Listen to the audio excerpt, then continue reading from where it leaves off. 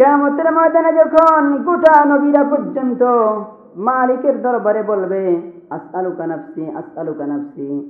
ওগো মালিক, তুমি আমারে বাঁচাও, আমারে তুমি বাঁচাও। আজ আমি দুনিয়ার কাউকে চাই না, আমার নবীকে আমি আজ চাই না আস্তালু নাফসি। মালিক, তুমি আমাকে বাঁচাও। যেদিন কারে হজরতে আদম আলহিসালাম থেকে শুরু করে সমস্ত পয়গম্বররা একত্রিত হয়ে যাবে। আমার নবীও থাকবে, আমার নবীও থাকবে। সেদিনকার আদম বলবে, এই যে দুনিয়ার ভিতরে যত মানুষেরা আছে, সবাই তো সবার জাতির পিতা হলাম, আদি পিতা হলাম আমি আদম। ওরা যে ভালো কাজ করতে, করছে। একটা অংশ আমি আদম পাবো বা পেয়েছি। আমি আদম একটা ভালো অংশ, একটা ভালো অংশের সব আমি আদম পাবো। ওগো মালিক আমার সন্তানেরা ভালো কাজ করেছে কেমতের ময়দানটায়। আমার সর্দার তুমি বানায় দাও, আমারে তুমি সবার সর্দার বানায় দাও। সেদিন আমার নবী জবাব দিয়েছেন, আনা সৈয়দ উলদি আদম ইয়াউমাল কিয়ামা। ওগো আদম, তুমি আদি পিতা হতে পারো, কিন্তু কিয়ামতের এই রাজত্বের ময়দানটার ভিতরে আমার আল্লাহ আপনার সামনে আমার সর্দার হিসেবে বানাইয়া দিছে সবাই যেদিন প্রশংসা নবীরা মালিকের দরবারে বলবে, মালিক, ইব্রাহিম মালিকের কাছে বলবে, ওগো আমার আল্লাহ, নমরুদ আমারে আগুনের ভিতরে জ্বালাইছে। দিনের দাওয়াত দিতে যাই আমি কষ্ট কম করি নাই। পর্যাপ্ত কষ্ট আমি করেছি। সার্টিফিকেট দাও আমাকে, সার্টিফিকেট দাও মুক্ত তার। আমি আজ মুক্ত হয়ে যাই। আজ তুমি আমারে সার্টিফিকেট দিয়ে দাও। ইদ্রিসের মতো পয়গাম্বার বলবে, ওগো মালিক, জমিনে তোমার দিনের দাওয়াত দেওয়ার জন্য কত পরিশ্রমী না করেছি, সম্মানের সার্টিফিকেট দিয়ে দাও, জান্নাতে যেতে চাই। মুসার মতো পয়গাম্বার বলবে, আমার ফেরাউন কম জ্বালাই নাই, আজ আমারে সার্টিফিকেট দিয়ে দাও মালিক। আজ আমি জান্নাতে যেতে চাই। আজ আমি জান্নাতে যেতে চাই, মুক্ত করে দাও। পয়গম্বররা সেদিন মালিকের দরবারে এক একটা অজুহাত পেশ করবে আর বলবে, আসআলুকা নাফসি আসআলুকা নাফসি আলু নাফসি। আজ আমারে মুক্ত করে দাও, সম্মানের সার্টিফিকেট দিয়ে দাও। আমার নবী জানায় দেয়, সবাই সব ভালো কর্ম দিয়ে সেদিনকার আমার মালিকের কাছে আজিয়ার দরখাস্ত পেশ করবে। কিন্তু আমি নবী জানায় দাও, লেওয়াউল হামদি বিয়াদি ইয়াউমাল কিয়ামা। সবাই সেদিন ভালো কাজের দরখাস্ত মালিকের দরবারে দিয়া বলবে, আমার তুমি আজ মুক্ত করে দাও।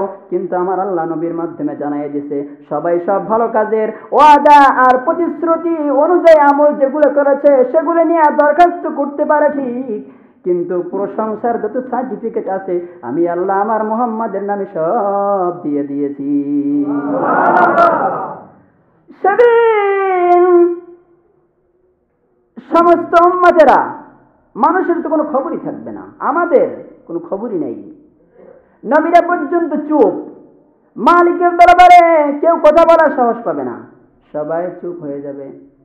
সবাই চুপ, কেউ কথা বলার সাহস পাবে না। নবী বলে আনা খতিবহুম, সেদিন আমি আমার মালিকের দরবারে কথা বলব। সুবহানাল্লাহ বলছেন আনা কাইদুহুম ইদা ওয়াফিদু। নবীরা মালিকের কাছে যাবে। মালিক তাদের চাওয়ার প্রতি ভ্রুক্ষেপ করবে না, সাড়া দিবে না। আমার মালিক তাদের চাওয়ার প্রতি সাড়া দিবে না। নবী বলে, আনা কাইদুহুম ইদা ওয়াফিদু সেদিন আমি হাঁটু গেড়ে মালিকের আরশের সামনে বসবো। বসে আমি মালিকের কাছে বলব, ওগো মালিক, আনা শাফিহুম ইদা হবিসু। যখন সবাই মানুষের আকাঙ্ক্ষা, নবীদের আকাঙ্ক্ষা পেশ করে, সবাই যখন নৈরাশ হয়ে যাবে, আমি মালিকের দরবারে দাঁড়ায়া দাঁড়ায়া দাঁড়ায়া দাঁড়ায়া আবার কখনো বসে বসে আমার দুই হাঁটু গেড়ে আমি মালিকের দরবারে বলব, মালিক আমার উম্মত এই কাজ করেছে, আজ আমার উম্মত রে তুমি বাঁচাইয়া দাও। আমার উম্মত রে তুমি বাঁচাইয়া দাও। আমার উম্মত রে তুমি বাঁচাইয়া দাও। সেদিন আমার আল্লাহ আমার নবীর দোয়া কবুল করবেন। নবীরে আজজি আমার আল্লাহ গ্রহণ করবেন। নবী বলে আনা মুবাশশিরুহুম ইদা ইয়াইসু। সব নবীরা যখন নৈরাশ হয়ে যাইবে আমার আল্লাহ আমার সব উম্মতের জান্নাতের ব্যবস্থা সে সময় করে দিবে। আমার নবী তো আবার জানিয়ে দিয়েছেন জাননি সবাই যখন সেদিন নৈরাশ হয়ে যাবে কেউ কারও দিকে ভ্রুক্ষেপ করতে পারবে না। আমার আল্লাহ জানাই দিয়েছেন মাফাতিহুল জান্নাতি বিয়াদি ইয়াউমাল কিয়ামা। নবীর মাধ্যমে জানাই দিয়েছেন নবী বলে সবাই যখন নৈরাশ আমার আল্লাহ জান্নাতের চাবিকাঠি আমার হাতের মধ্য দিয়ে বলবে এই যে জান্নাত সুমের চাবিকাঠি আপনার হাতে দিলাম যাকে ইচ্ছা তাকে আপনি সুপারিশ করে জান্নাতে নিয়ে যান। কারণ কি জানেননি?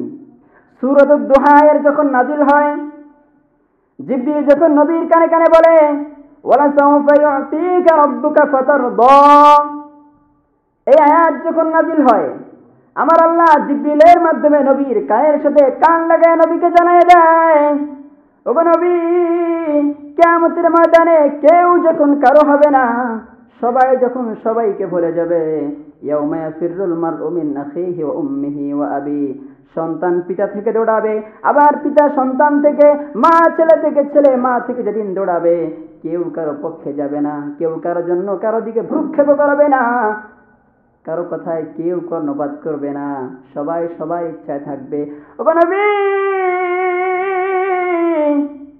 সেদিন আমি আল্লাহ আপনাকে রাজি করেই ছাড়বো। রাজি করেই ছাড়বো। নবী সেদিন জিব্রিলকে বলেছিল, জিব্রিল, তুমি সাক্ষী থাকো।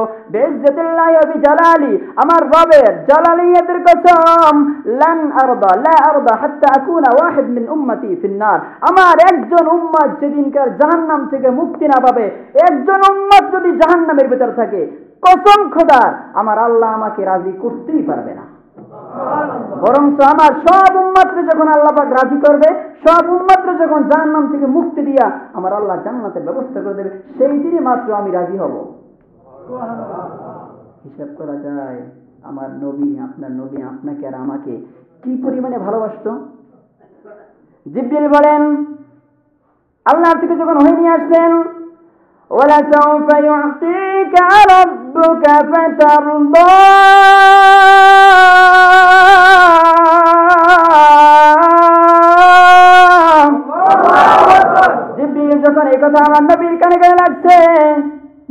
নবীর কানে যখন জিব্রিল এই কথা বলছে, জিব্রিল তুমিও সাক্ষী থাকো।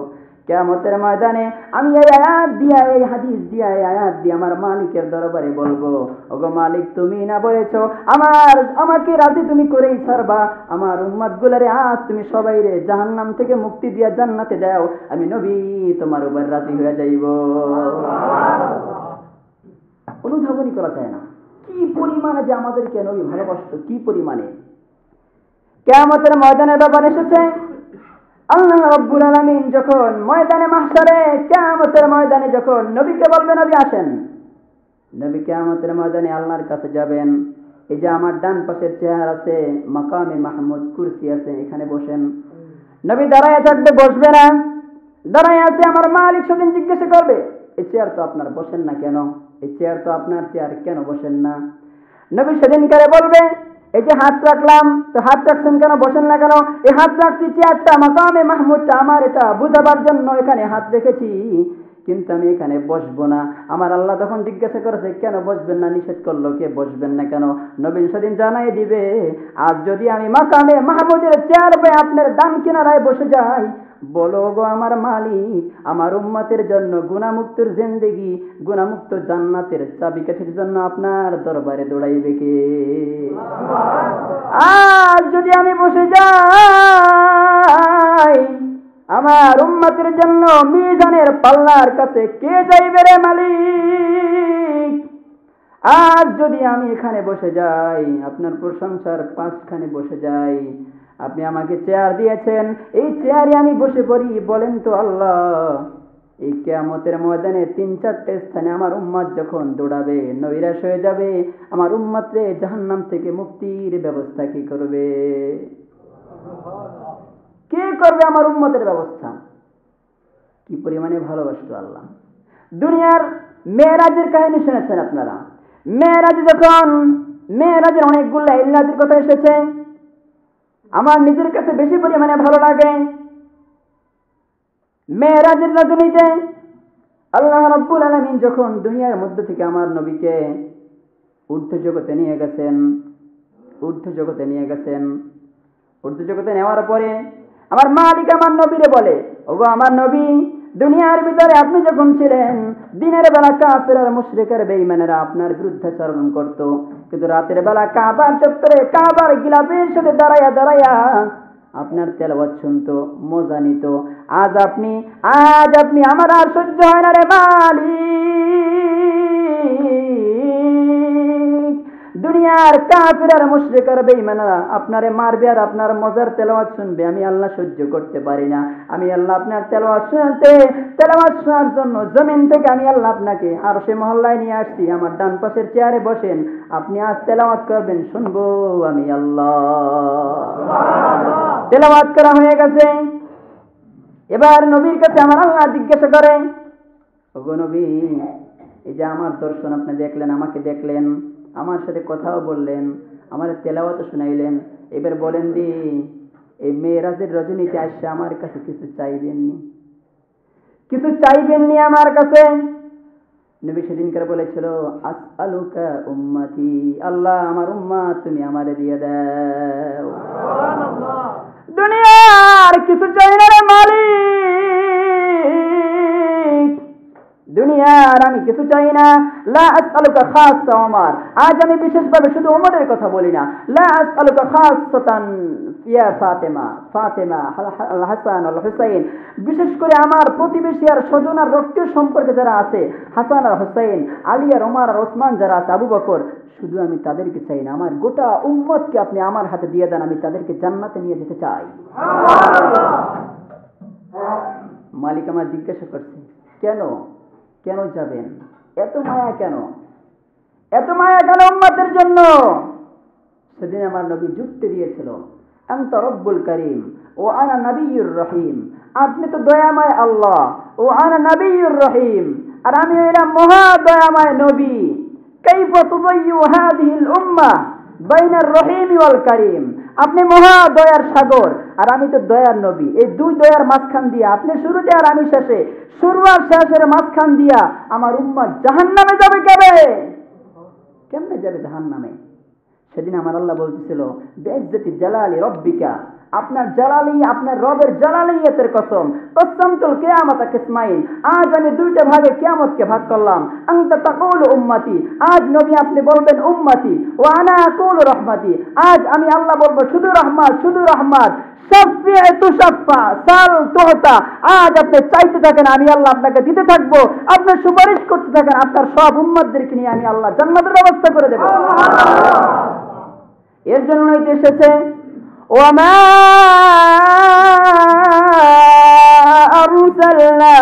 أرسلناك إلا إلا رحمة للعالمين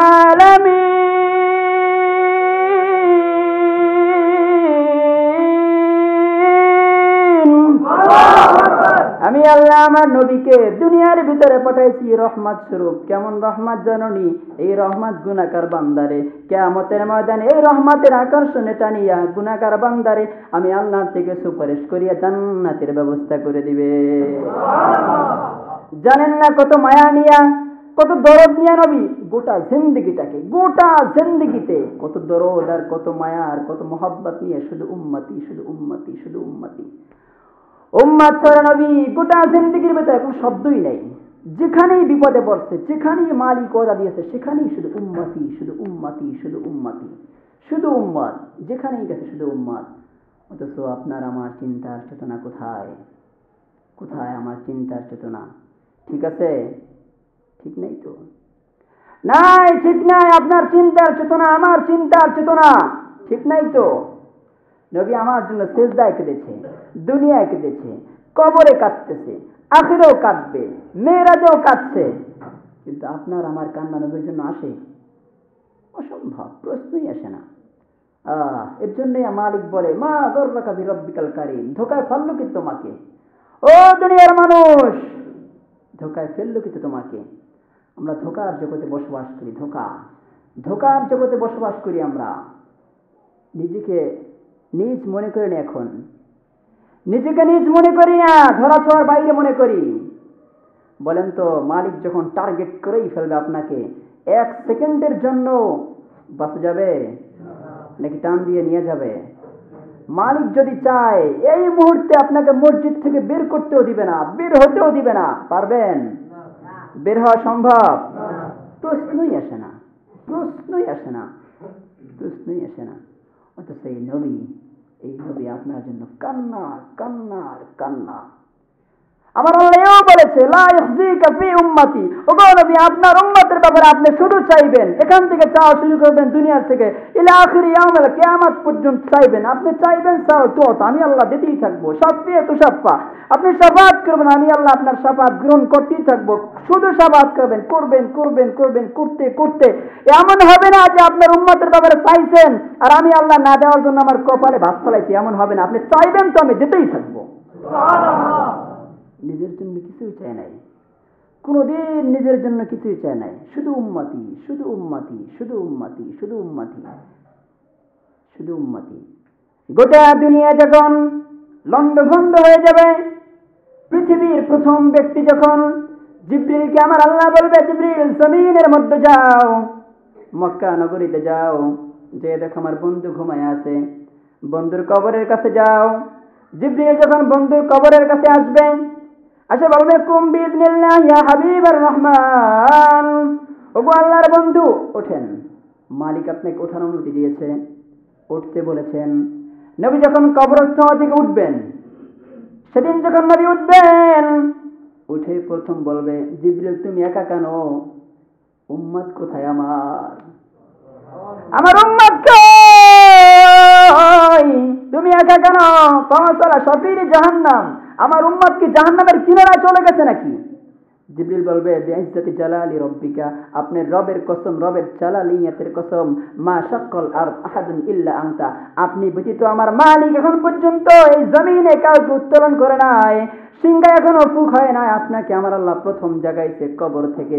নবী পাগলের মতো হয়ে যাবে জিবরিলকে বলবে, জিবরিল, জলদি চলো জলদি চলো জলদি চলো। আমি আমার মালিকের দরবারে যাব। আমার উম্মত ঘুম থেকে জাগার ওঠার আগেই আমি আল্লাহ আমার উম্মতের জন্য সুপারিশ করে মালিকের দরবারে জান্নাতের ব্যবস্থা করে রাখব। কি পরিমাণে ভালোবাসা রে? কি পরিমাণে ভালোবাসা? অনুধাবন করতে পারবেন না। কেমতের ময়দানে কথা এসেছে বড় বড় নবীরা যখন নিজের ভালো কাজের মাধ্যমে মালিকের দরবারে বলবে ওগো মালিক দুনিয়া আমি এইটা করছি আমার এইটা দাও এখন। আমি ওইটা করছি, আমার ওইটা দাও। আমি ওইটা করছি, আমার ওইটা দাও।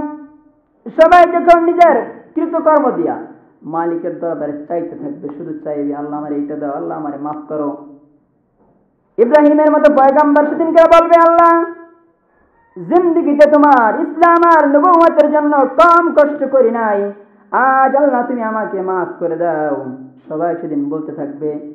আমি মুসার কথা হয়তো আগেও বলেছি। হজরতে মুসার ব্যাপারে নবীজি বলেছেন ক্যাননি আন্দ্র মুসা মুত্তাখিদুম অমদিল আরশ? আমি মৌসা আলাইহি সালাতু ওয়াস সালামকে কিয়ামতের ময়দানে আমি দেখেছি, আমি দেখতেছি এমন হবে অবস্থাটা।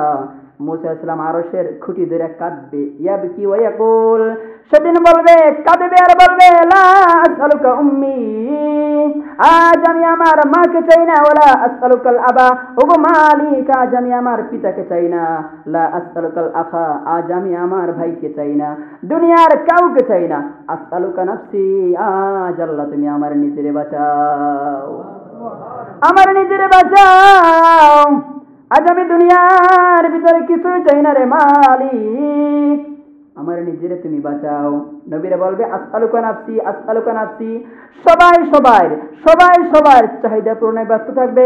কে জানে পিছন থেকে ডাক দিয়া কন্যা দিয়া কান্নার সুরে বলবে আস্তালুকা উম্মতি। আস্তালুকা উম্মতি। সবাই যখন মাথা ঘুরাইয়া ওই যে ডানের দিকে তাকাইয়া দেখবে কে জানি এভাবে হাঁটু গেড়ে জমিনের উপরে এবার ঠোকর পাইতে বসে আছে। আর মালিকের দরবারে বলতেছে গো মালিক আজ আমি কিছুই চাই না আমার উম্মত আমার ঠোকরের ভিতরে দিয়ে দাও। আমার উম্মত আমার ঠোকরে দিয়ে দাও। আজ আমি কিছুই চাই না রে মালিক তোমার দরবারে আমি আজ কিছুই চাই না আমার শুধু ঠুকুরে দিয়ে দে আমার উম্মত। আমি আমার উম্মত। উম্মত চাই। এই উম্মাদকে আমি পর্যাপ্ত ভালোবাসতাম। পর্যাপ্ত ভালোবাসতাম। কারণ তো রাসুলের কথাই এসেছে, হাদিসের ভিতরে এসেছে, গোটা দুনিয়ার মানুষ ইভেন নবীরা পর্যন্ত কেয়ামতের ময়দানে সবাই চাইবে আমার মালিক কীভাবে খুশি হয়, এটা করলে মালিক হয়তো খুশি হবে, এইভাবে চাইলে মালিক হয়তো খুশি হবে সবাই ইচ্ছা আকাঙ্ক্ষা থাকবে, মালিককে খুশি করা। কিন্তু নবী বলে সবাই মালিককে খুশি করতে চাইবে, কিন্তু মালিক আমাকে, আমি নবীকে খুশি করতে চাইবে। সবাই আমার মালিকের দিকে তাকিয়ে থাকবে আর বলবে এটা দাও, ওইটা দাও। কিন্তু আমি নবী ঘোষণা দিয়া দেই কেমতের ময়দানে সবাই যেদিন মালিকের দিকে তাকায় থাকবে। কিন্তু মালিক আমার মুখের দিকে তাকায় থাকবে, আমি নবী কখন খুশি হই? কি পরিমাণে ভালোবাসত আল্লাহ? আবার কি পরিমাণে মোহাব্বত করতো নবী আপনাকে আর আমাকে? কি পরিমাণে মোহাব্বত করত? কি পরিমাণে মোহাব্বত করত? আমার মালিক সেদিনও বলবে ওরা يعطيك ربك فترضى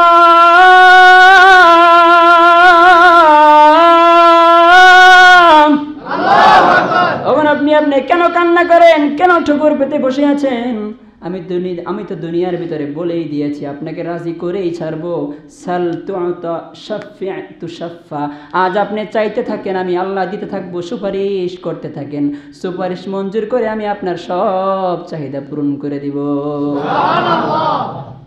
কি পরিমাণে ভালোবাসত রে? আবার ওই নবীর কারণে। আমার আল্লাহ আপনারও যে কি পরিমাণে ভালোবাসে আপনার আর আমারে কি পরিমাণে ভালোবাসে? হজরত মুসা আলাইহিস সালাতু ওয়াসসালাম তুর পাহাড়ের মধ্যে যখন ছিলেন, তুর পাহাড় আগুনে সরকার হয়ে গেছে পইরা। তখন মৌসা আল্লাহর কাছে জিজ্ঞাসা করতেছে, ওগো মালিক, তুকাল্লিমু মাই, হাল তুকাল্লিমু আহাদান গায়রি? ওগো আমার মালিক, আপনি আমার সাথে কথা বলেছেন। দুনিয়ার ভিতরে কি আমি ছাড়া আরও কারোর সাথে কথা বলবেন? মালিক মুসাকে বলতেছে, মুসা, তুমি কই আর আমি কই? তখন মুসা বলতেছে, আনা আসফালুল জাবাল, আমি তো পাহাড়ের নিচে ও আংতা আলাল জাবাল, আপনি তো পাহাড়ের উপরে হয়তো। মালিক বলে, না, আমি শুধু পাহাড়ের উপরে না, আর তুমি পাহাড়ের নিচে ব্যাপারটা এমন নয়। বাইনাহু ওয়া বাইনাকা, বাইনি ওয়া বাইনাকা আলফু হিজাব। সাবুমিয়াতি আলফ হিজাব, তোমার আর আমার মাঝখানে সত্তর হাজার নূরের পর্দা ছিল পর্দার মধ্যে দিয়ে আমি আল্লাহ এক ফুটা নূর ছেড়ে দিছি, পাহাড় শেষ, তুমিও বেহুশ হইয়া পড়ে আসিলা। তুমিও পড়ে আছিলা এই হয়েছে তোমার সাথে আমার সাথে সাক্ষাৎ। কিন্তু আমার দুনিয়ার ভিতরে, শেষ জামানার ভিতরে এমন একজন নবী আসবে। সেই নবী তো দূরের কথা, নবীর উম্মতের মর্যাদা কেমন জাননি? মুসা বলতেছে কেমন মর্যাদা? বলতেছে তোমার সাথে আমি জিন্দিগি দিয়ে একবার কথা বলছি তাও সত্তর হাজার নূরের পর্দার মধ্য দিয়ে এক ফোঁটা নূর ছেড়ে দিছি এই তোমার আমার সাক্ষাৎ। কিন্তু শেষ জামার নবীর উম্মতের সাথে আমি আল্লাহ দৈনিক পাঁচবার নামাজের ভিতরে কথা বলব। আপনি জানেন না হয়তো নামাজের ভিতরে আপনি যখন আর আমি যখন তেলাওয়াত করি আলহামদুলিল্লাহ রব্বিল আলামিন।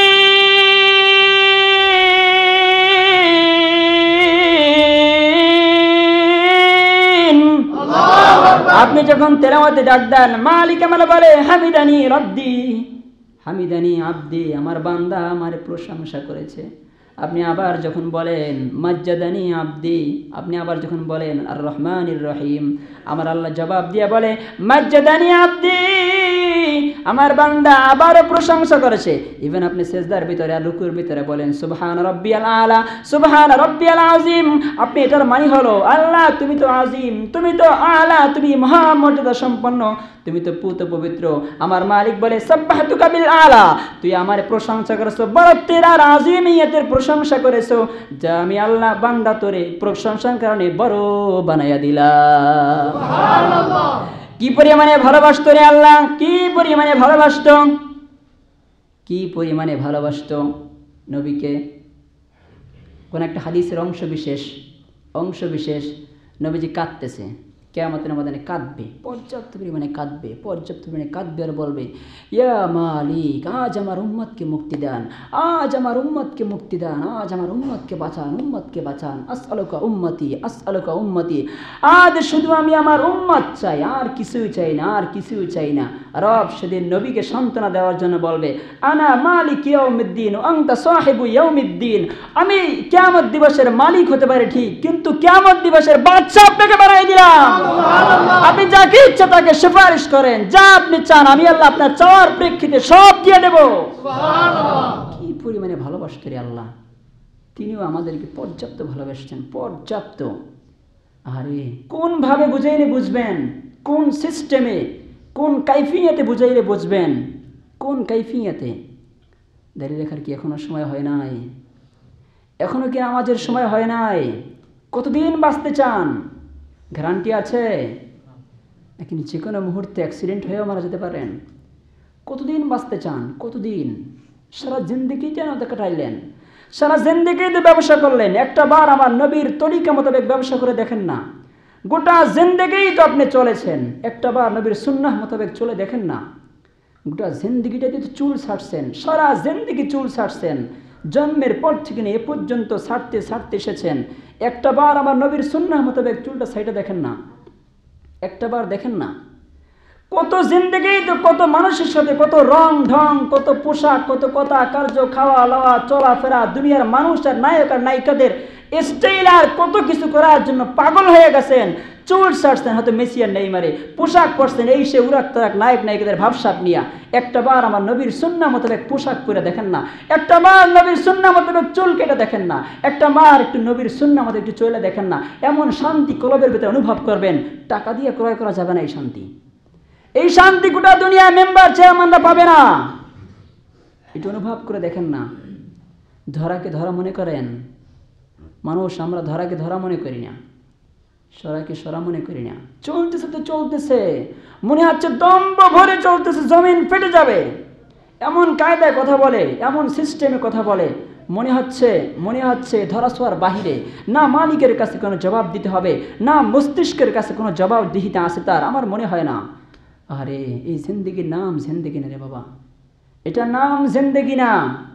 একটা জবাব দেওয়ার আগে মালিকের একটা প্রশ্নের জবাব না দিয়ে একটা কদম মালিক আগাইতে দেবে না, এক কদম আগাইতে দেবে না। এক কদম আগাইতে দেবে না আপনাকে। আপনি কি মনে করেন? কোরআন মিথ্যা? হাদিস মিথ্যা? কি মনে করেন? মিথ্যা? প্রশ্নই আসে না। অসম্ভব। কাল্লা হতেই পারে না, অসম্ভব। ধরাকে ধরা মনে করেন। ইসলাম কি ইসলাম মনে করেন। যে জিন্দগিতে আসেন যে সিস্টেমে চলতেছেন, এটা সিস্টেম না। আল্লাহ ধরে বইলে কোনো সারা পাওয়া যাবে না, কোনো সারা পাওয়া যাবে না। কোনো সারা পাওয়া যাবে না। আবু বকরের মতো লোক অমরের মতো লোক, ওসমানের মতো লোক, আলীর মতো লোক জান্নাতের টিকিট হাতে পাইছে। এরপরেও শুধু কান্নার কান্নার কান্না জিজ্ঞাসা করা হয়েছে, কাঁদো কেন? এত কেন কাঁদো? জান্নাতের টিকিট তো হাতে পাইছো। জবাব দিয়েছে, আমার মালিক যদি নারাজ হয়ে আমার টিকিটটা আবার ফেরত দিয়ে যায়। আবু বকর জবাব দিয়েছে, আমার মালিক যদি আমার প্রতি রাগান্বিত হয়ে আমার কীর্তকর্মের কারণে আমার টিকিটটা ফেরত নিয়ে যায়। আপনি, আমি কি জান্নাতের টিকিট পাইছি? হ্যাঁ? কই? কোথায়? আজান হয়ে যায়, এখনও ভ্রুক্ষেপ করি না, আবার কানের মধ্যেই যায় না, কানের মধ্যেই যায় না। আরে, কত মাহফিল না শুনেছি, কত প্রোগ্রামই না আমি অংশগ্রহণ করেছি। জিন্দিগিতে একটা প্রোগ্রাম জীবনের উপর বাস্তবায়ন করেন জীবন সফল হয়ে যাবে। কত নামাজের আলোচনা শুনেছি, কই মসজিদ খালি, সব মসজিদগুলো খালি। কত দাড়ির আলোচনা শুনেছি, কই মুখ এখনও খালি। কত টুপির আলোচনা শুনেছি, কই মাথা এখনও খালি। কত পারিবারিক জীবন গঠনের জন্য শূন্য মোতাবেক গঠনের জন্য, কত আলোচনায় তো শূন্যতের আলোচনায় তো শুনেছি, কই সব তো খালি। ছাড় পাওয়া যাবে মালিকের কাছ থেকে? প্রশ্নই আসে না সারি পাওয়া যাবে না। অসম্ভব! এই জিন্দিগি গিয়ে জিন্দিগি মনে করে, ছেড়ে দিয়েন না, ছেড়ে দিয়েন না। আমার মালিক ধরে বসলে, মালিকের সিস্টেমে এটা মালিক ধরে তো ধরে না, ধরলে আর ছাড়ে না।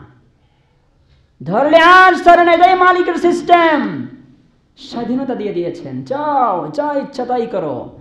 যা ইচ্ছা তাই করো, ছেড়ে দিলাম। যা ইচ্ছা তাই করো। মনে করতেছে, দুনিয়ায় আমার এটাই সব, আমার এটাই সব। এই বাড়ি নিয়েই হয়তো আমি কবরে যাব। এমন এমন ভাবসাপ নিয়ে চলে হ্যাঁ আমি এই ছয়তলা ভবন নিয়ে আমি কবরে যাব। ঢাকার মানুষ তো বিল্ডিং আছে। মনে করে এই বাড়ি নিয়ে আমি কবরে যাব, এই গাড়ি নিয়েই আমি কবরে যাব। একটা বারও চিন্তা করেছেন, এই মুহূর্তে বিল্ডিং এর পাঁচতলায় ভাই আমি মারা গেলে এই বাড়িতে রাখব নাকি পাক্কাই কবরস্থানে দিব? কথা কন না? এই গাড়ির ভিতরে আপনি ইন্তেকাল করলে এক সেকেন্ড রাখব নাকি বের করব? বের করে দিব। বের করে দেব আপনাকে। বের করে দেব। থাকতে পারবেন না। কোনো সিস্টেম নাই। কেউ থাকতে পারে না এই পৃথিবীতে। কেউ থাকতে পারবেও না। কুল্লু সিং দায় কতুল মাউত। কেউ থাকতে পারে না থাকতে পারবেও না। আল্লাহ আপনাকে এবং আমাকে বোঝার তৌফিক দান করেন।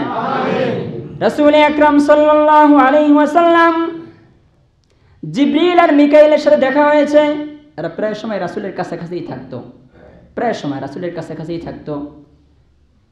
একদিন দেখতেছে দুজনে মিলে কাঁদতেছে জিবরিলও কাঁদে আর মিকাইলও কাঁদে। নবী জিজ্ঞাসা করেছে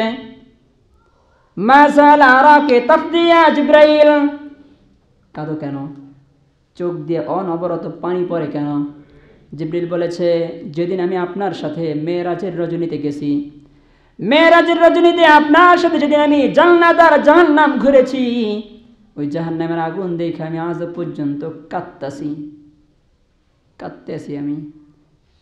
নবী আবার মিকাইলকে জিজ্ঞাসা করেছে মাজাল আরাক তাফদিয়া মিকাইল? ওগো মিকাইল, তোমার চোখ থেকে কেন পানি পড়ে? কেন তুমি এত বারবার কাঁদতেছো? যখনই দেখা হয় শুধু দেখি কান্না করতেছো, কেন কাঁদো? মিকাইল সেদিন জবাব দিয়েছিল, যেদিন শয়তান দাম্ভিকতার কারণে আমার মালিক তার উপরে রাগান্বিত হয়েছিল। রাগান্বিত হওয়ার কারণে মালিক যেদিন তাকে জান্নাত থেকে বের করে দিয়েছিল আবার মালিক বলেছিল ওয়াকানা মিনাল কাফিরিন। অন্তর্ভুক্ত অস্বীকারীদের মধ্য থেকে আমার আল্লাহকে করে দিয়েছিল। এই অবস্থা দেখে আমার ভিতরে কান্না আসতেছে। কান্না শুধু এসেই থাকে। না জানি মালিক আমি মিকাইল যে কখন আবার এখান থেকে বের করে দেয়।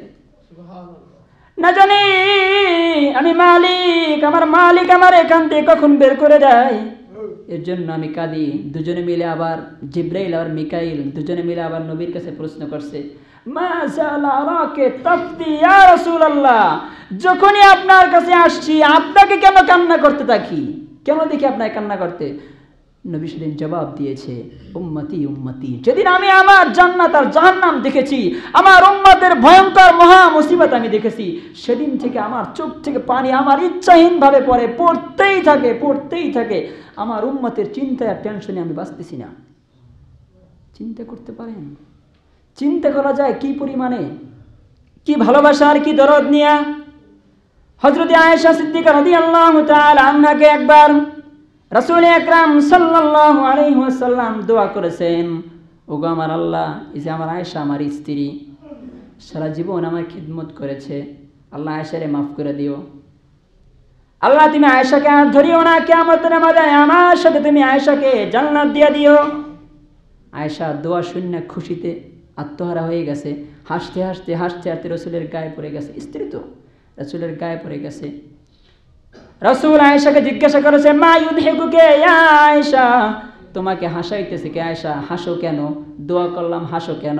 আয়েশা বলে, খুশির টেলায় কিসের খুশি? এত খুশি কেন?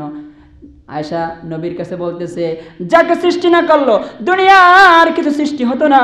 যাকে সৃষ্টি না করল, আমার আল্লাহ জান্নাত আর জাহান্নাম বানাইতো না। যাকে সৃষ্টি না করলে, আমার আল্লাহ দুনিয়ার কিছুই তৈরি করতো না। ওই মানুষটা আমার জন্য দোয়া করেছে। আমি নিশ্চিত আমার ব্যাপারে দোয়া মানুষটা আমার আল্লাহ গ্রহণ করে নিবে। নবী বলে, জননী তুমি তো আমার স্ত্রী তোমার জন্য আমি জিন্দিগিতে একবার দোয়া করেছি। এই দোয়ার বদৌলতে হাসতে হাসতে খুশির ঠেলা আমার গায়ে পড়েছ। কিন্তু আমি আমার গুণাগার উম্মতের জন্য দৈনিক পাঁচবার দোয়া করি। এখন এরপরেও কি মনে লাগে না দাঁড়িয়ে রাখতে? এরপরেও কি মন বলে না? শূন্য মোতাবেক চলবো। আয় হায় কীভাবে বুঝাইলে বুঝবেন আমি জানি না। কীভাবে বুঝাইলে বুঝবেন আমি জানি না। দিলের সাথে ফিট করে ফেলান। এ আল্লাহ জিন্দেগি চলে যাবে। দিলের সাথে ফিট করে ফেলান। এ আল্লাহ সংসার স্ত্রী ছেলে মেয়ে আত্মীয় স্বজন প্রতিবেশী সব চলে যাবে। নবীর সুন্নাত নবীর সুন্নাত ছাড়বো না। ইসলাম মেনে চলবো। কিছুই ছাড়বো না। নিয়ত করা যায় না? আল্লাহ আপনাকে এবং আমাকে তৌফিক দান করেন। ইসলাম মোতাবেক চলার মতো তৌফিক দান করেন। সেদিন আপনাকে আমাকে আমার আল্লাহ ধরে বইলে কোনো ছাড় পাওয়া যাবে না। কোনো সিস্টেমই নাই কোনো কাইফিয়াতই নাই ছাড় পাওয়ার। আল্লাহ সেদিনের কাজ বেশি বেশি আপনাকে আমাকে করার মতো তৌফিক দান করেন যে কথাগুলি বললাম সে কথাগুলি সর্বপ্রথম আমাকে আল্লাহ আমল করার তৌফিক দান করেন। পরবর্তীতে সঠিক কথাগুলি আল্লাহ আপনাদেরকে আমল করার তৌফিক দান করেন। ওমা আলাইনা ইল্লাল বালাগ আসসালামু আলাইকুম